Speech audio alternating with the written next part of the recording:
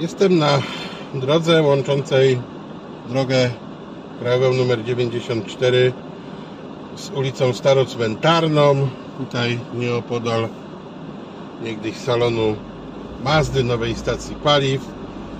I mając za sobą drogę krajową numer 94 będę jechał do ulicy Starocmentarnej, gdzie mamy zmienioną organizację ruchu.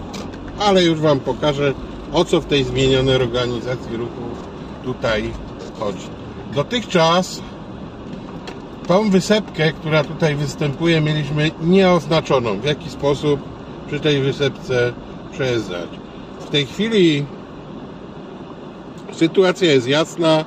Wysepkę musimy mieć po stronie swojej lewej, a więc jedziemy po prawej stronie wysepki bez względu na to, w którą stronę zamierzamy dalej jechać. Jeżeli jedziemy w lewo, to oczywiście ustawiamy się bliżej wyspy, co analogiczne pojazdy, które będą skręcały w lewo ze starocmentarnej, oczywiście również muszą objechać tą wysepkę i skręcić za wyspą po minięciu tejże właśnie wysepki.